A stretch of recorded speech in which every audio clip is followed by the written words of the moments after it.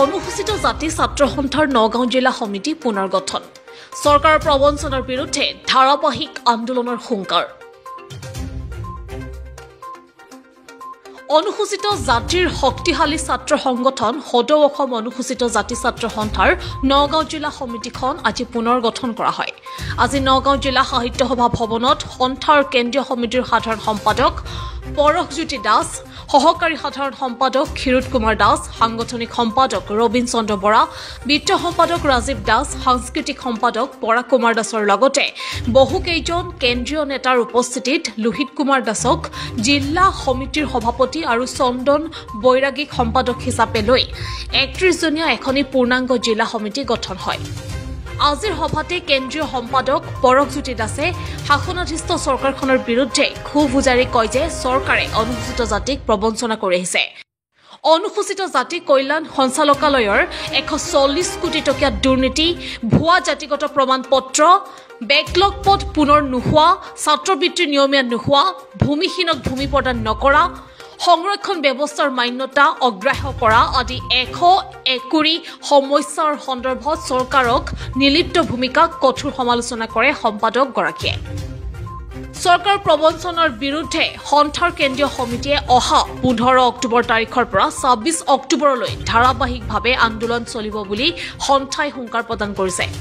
আচলতে আজি নগাঁও জিলা অনুসূচিত জাতি ছাত্ৰ সন্থাৰ এখনি সাধাৰণ সভা অনুষ্ঠিত হয় আৰু উক্ত সভাতেই সভাৰ সৰ্বসন্মতিক্ৰমে এখন নতুন জিলা সমিতি গঠন হয় আৰু এই জিলা সমিতিৰ সভাপতি হিচাপে দায়িত্ব অৰ্পণ কৰা হয় লোহিত কুমাৰ দাসক আৰু সাধাৰণ সম্পাদক হিচাপে দায়িত্ব অৰ্পণ কৰা হয় চন্দন বুৰাগী আৰু ইয়াৰ লগতে উপ সভাপতি পদুম হাজৰিকা পল্লৱ দাস সহকাৰী সাধাৰণ সম্পাদক মনোজ ভূঞা ৰাজকুমাৰ দাস আৰু এনেদৰে আচলতে একত্ৰিছজনীয়া এখন পূৰ্ণাংগ জিলা সমিতি গঠন হয়।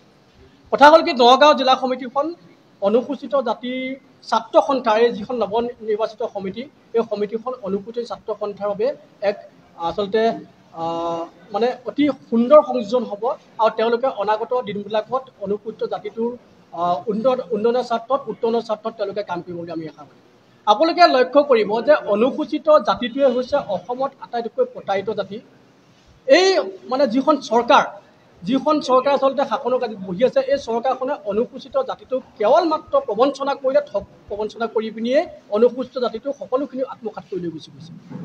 এশ চল্লিছ কোটি টকা অনুসূচিত জাতি কল্যাণ সঞ্চালকালয়ৰ আঁচনি ধন এই চৰকাৰখনৰ নেতৃত্বতে আচলতে যিগৰাকী সঞ্চালিকা আৰু কোনোবা ঠিকাদাৰে একেবাৰে কাঢ়ি লৈ গুচি গৈছে। ঠিকাদাৰজনৰ নাম নুপুৰ শ্বাহ আৰু সঞ্চালিকাগৰাকীৰ নাম তুলসী নাথ আৰু ইয়াৰ সমান্তৰালকৈ মন্ত্ৰী পীযুষ হাজৰিকাই এই গোটেই বিষয়বস্তুবিলাকৰ লগত জড়িত হৈ আছে।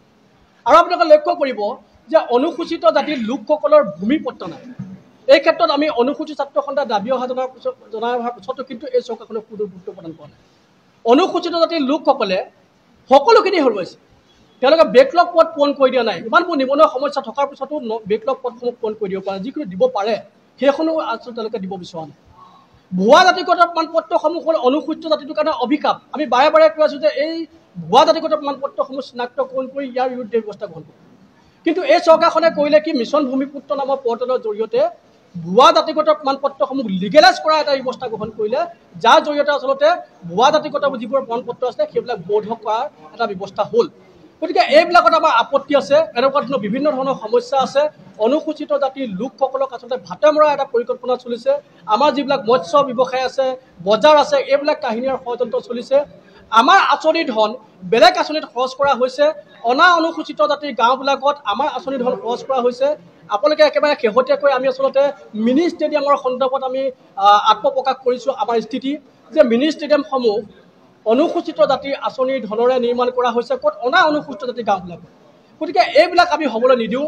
আজি আমাৰ এই যিখন সংগ্ৰাম এই সংগ্ৰামখনৰ লগত নৱনিৰ্বাচিত নগাঁও জিলা সমিতিখনৰ সংযোজন হৈছে।